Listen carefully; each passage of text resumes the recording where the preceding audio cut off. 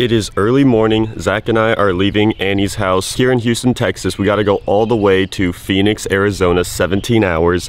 Now the thing is, is that it is 6:20 a.m. on a weekday, and this is going to be the first cold start of the Hennessey Exorcist with the headers, the full straight pipe exhaust, the cams. I am so sorry to Annie's neighbors around here, but um, sometimes you gotta do what you gotta do. Here goes nothing.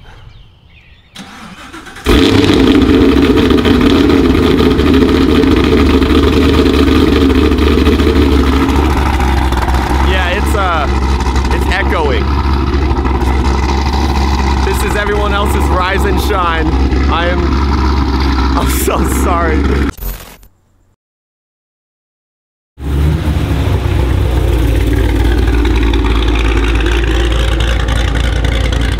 Here in the middle of nowhere and uh, we got to fill up this thing. It turns out that when you do build up a car to have a thousand horsepower, you definitely compromise your fuel economy. I was hoping that like keeping the foot light on the pedal and cruising like road tripping wise, like it wouldn't really affect it that much, but it's definitely like slightly noticeable. So uh, we're getting like probably like 13 mpg, depending on like what cars you're around. That's either like really bad or that's like better than you would think. Look at how dusty this is. what the heck? Someone like splashed it with muddy water. I find it funny that the stripe goes like right through the freaking. yeah, right. The cap. They planned that for sure. You ready?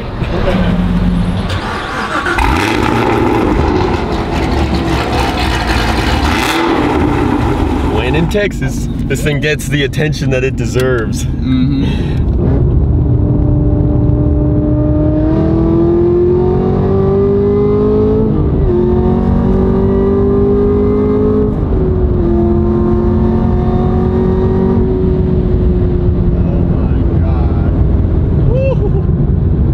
Dude, that gets up there so quick.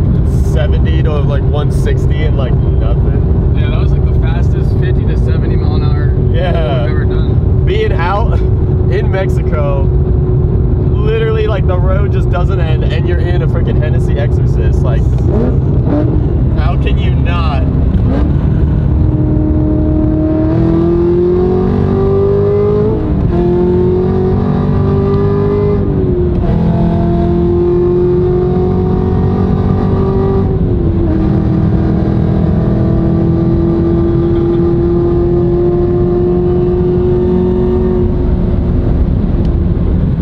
Oh my god.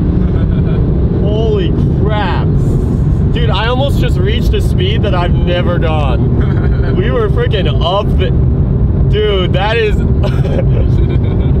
that actually demonstrated how fast this car is. Not just not just what I felt, but literally how quickly I saw... Oh my god.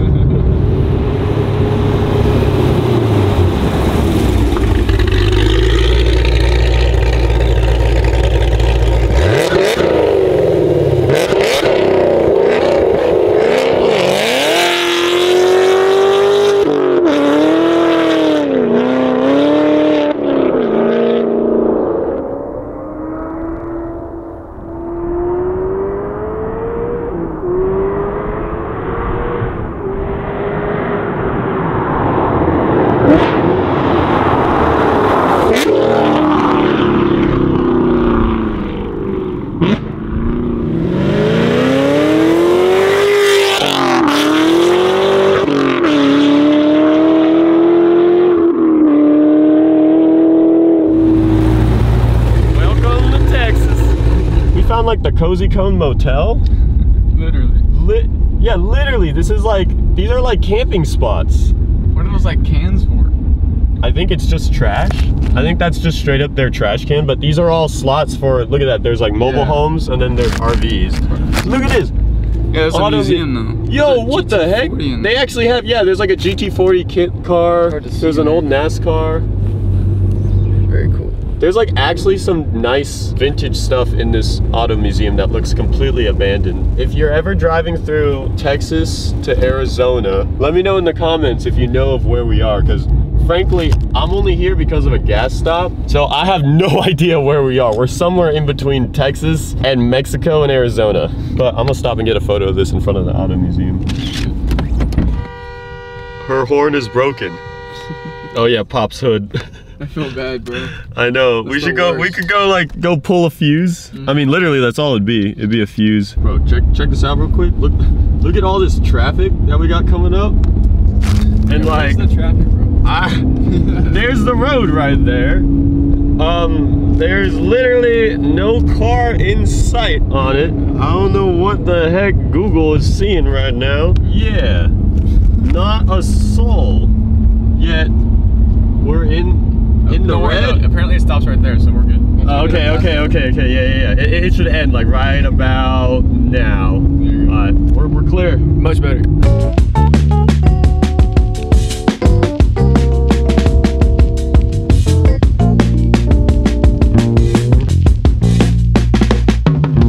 Hennessey gave her the fresh detail, but she's picking up all the bugs now.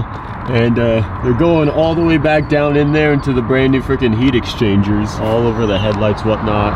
And uh, I definitely notice all the bugs now splattered on my already low visibility thin windshield. Currently at El Paso, Texas, like three quarters of the way there. The sun is starting to go down, but uh, we're continuing onward. This thing's been a trooper.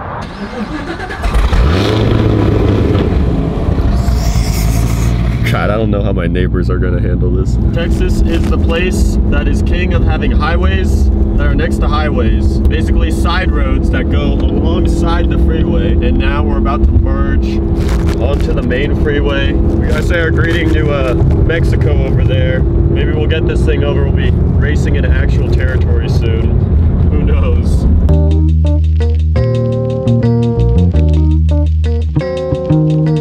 I'm sure some of you guys watching may wonder with Hennessey headers and the full Corsa, basically straight pipe exhaust, does this build drone as we road trip it on the freeway? And my answer is not really.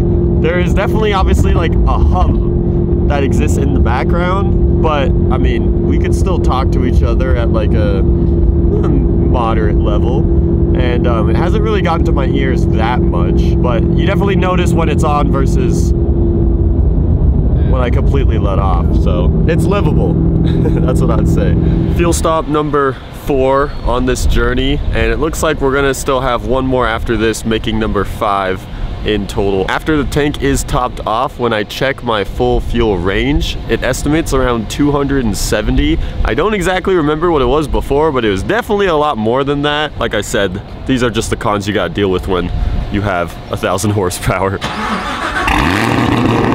We found some cars with protective camo. Yeah, that's something brand new.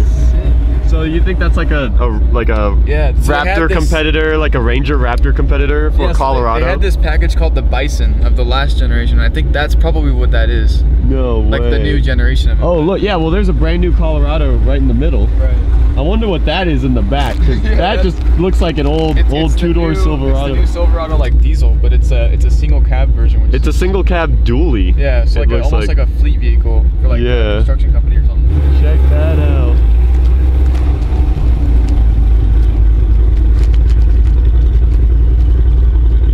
It's always incredibly cool to spot test mules out in the wild.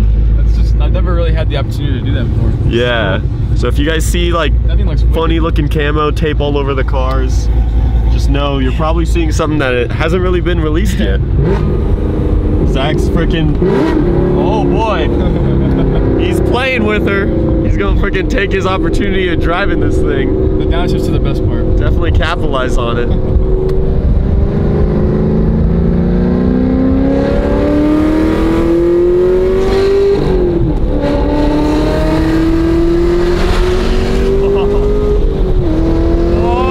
Oh my god!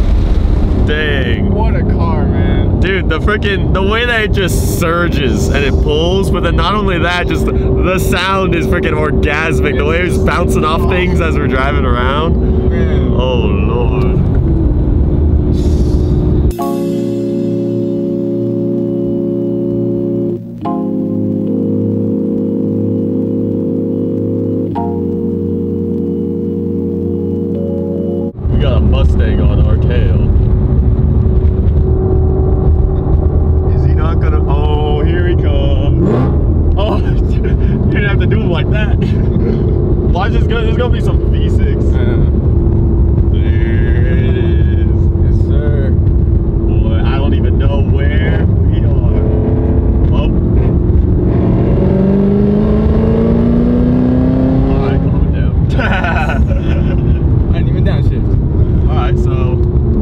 V8. What's up, brother? oh, he's got a, he has a 1320 sticker.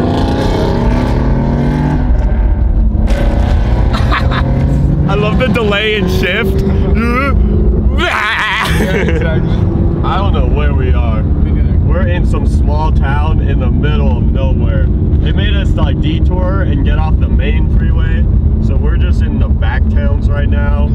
And we found a 5.0 it looks like. Not paid ZL1 advertisement of the evening is that the ambient lighting in here is just superior. Yeah, dude. It's The so freaking, this is like a nightclub for sure. in the sense that there is literally there's a little projector right here you can see how my hand is illuminated and it just kind of creates a spotlight over Yeah. your shifter and like just the overall ambiance inside of here is just so cool for especially rolling around at night it's just like it, it's a it just the environment feels way too nice for being a chevy camaro i'm gonna just be real with that Yeah. but in that way, it's underrated, it's good, and I would keep that in mind if anyone wants a 6th gen Camaro. 17 hours later, and we're not even that late. It's 1021, and we have made it to Phoenix, Arizona. We are stopping here at Zack's family's crib. We're on one end of the country, all the way close down to the freaking Gulf of Mexico, and going all the way to the other coast by the Pacific. Not today, obviously, we're here in Arizona, but eventually, in a couple days, we'll be going from here over to LA next. Yeah, we're definitely, we're, we're getting a solid break-in on, uh, on this car.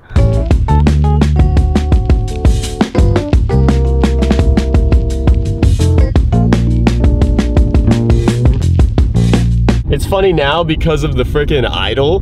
Like Yeah. that's the most attention grabbing thing of this car. Like the, the sand color is unique and like, you know, it's, it's got all the arrow and all that kind of stuff. But the freaking idol is just a presence machine that's just like, I am here. Blah, blah, blah, blah, blah, blah.